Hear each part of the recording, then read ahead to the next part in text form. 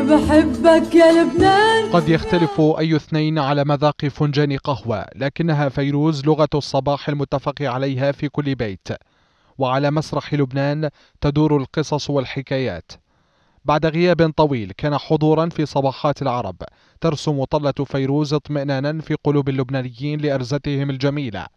ولأن المصاب جلل استطاع إيمانويل ماكرون إظهار فيروز إلى الإعلام بعد غياب.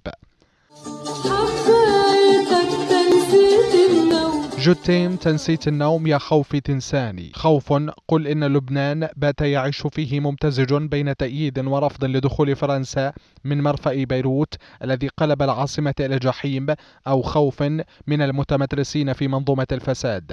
خلع إيمانويل سترته فبدا واضحا أنه لبناني الاهتمام فرنسي الأصل. وقد قالها في زيارته الأولى بحبك يا لبنان.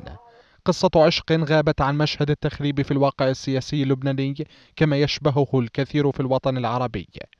مرتان إذن يعود فيهما ماكرون الفرنسي العنيد واعدا بأنه لن يترك اللبنانيين.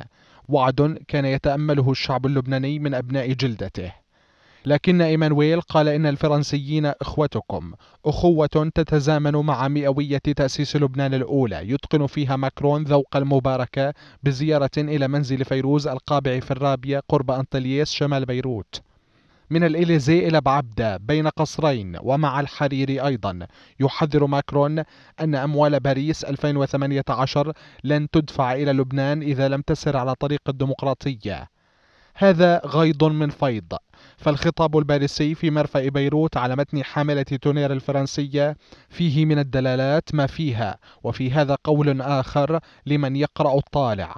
فزيارة ماكرون إلى بغداد يبدو أنها تقارب بين الباءات الثلاثة باريس وبيروت وبغداد أو أنها باءات بمحض الصدفة لكنها في النهاية زيارة رسمية عناوينها دعم العراق وسيادته وتسلحه في وجه الإرهاب والاقتصاد. كذلك فعل في بيروت. وقد يرسم العراقي أمله بخطوات ماكرون أو أنه تفاؤل بغناء فيروزي لبيروت وبغداد معا. فيفعلها ماكرون لأجل عاصمتين جريحتين أو أنها فرنسا التي تحولت إلى لاعب سياسي جديد في منطقة تئن من الصراعات. على ألا تكون باريس لاعبة لتحقيق مرادها فحسب بقناع كلمات فيروزية تحاول التأثير على عاطفة العراقيين.